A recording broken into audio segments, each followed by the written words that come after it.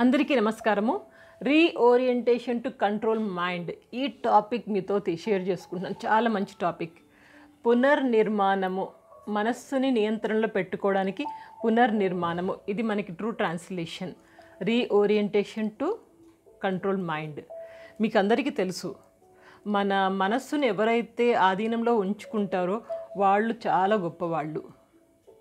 ఒక చిన్న ప్రయోగం ద్వారా చెప్పారట ప్రపంచంలో ఎనిమిది శాతం మంది మాత్రమే మనస్సుని నియంత్రణలో ఉంచుకుంటున్నారట. మిగిలిన తొంభై రెండు మంది మనస్సు కంట్రోల్లో లేదు. వాళ్ళ మనస్సు వాళ్ళ ఆధీనంలో లేదు. సో దీన్ని ఏ విధంగా కంట్రోల్ చేసుకోవాలి? దీని గురించి ఒక చిన్న ఎక్స్పెరిమెంట్ చేశారు. ఏంటి అంటే room number one room number two రెండు రూమ్స్ తీసుకున్నారు. మొదటి రూమ్లో ఎవరిని ఉంచారు అంటే కనుక ఎవరికైతే బాగా తీర్థయాత్రలు బాగా మాటి మాటికి చేతులు కాళ్ళు ఊరుకోకుండా పరిగెడతా ఉంటారు అలాంటి వాళ్ళు కొంతమందిని అక్కడ ఉంచారు. ఇంకా కొంతమంది హిమాలయాస్ మాటి మాటికి వెళ్ళిపోయి అక్కడ సాధువులతో స్పెండ్ చేయడం టైం స్పెండ్ చేసి హిమాలయ అందాలు చూసేవాళ్ళు కొంతమంది.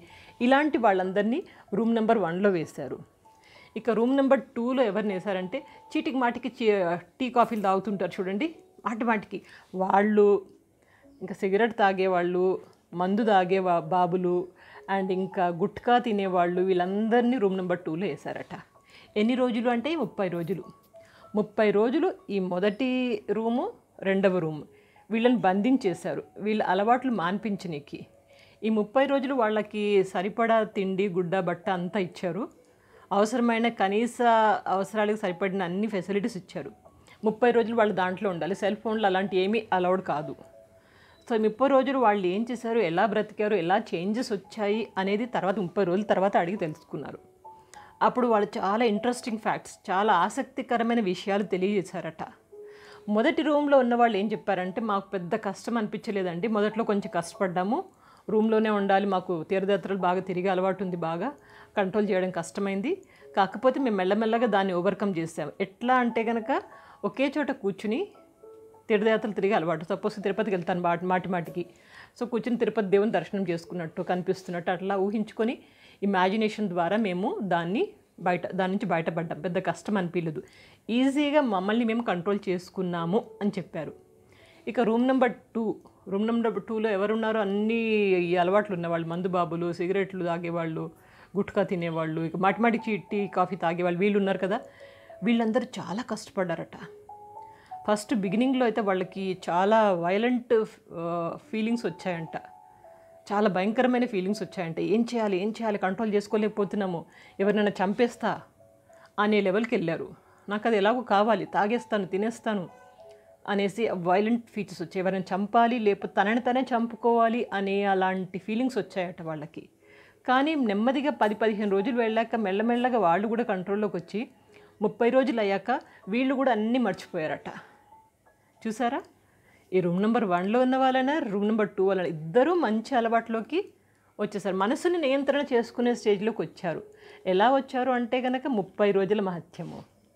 మన పెద్దవాళ్ళు కూడా చెప్పారు ఇరవై ఒక్క రోజులు కానీ నలభై రోజులు కానీ ఈ రెండు మంత్రాలు twenty one days mantra forty days mantra ఈ రెండు మంత్రాలు ఏది ఫాలో అయినా కానీ మనస్సును నియంత్రణ చేసుకోవడం మన చేతుల్లోనే ఉంది.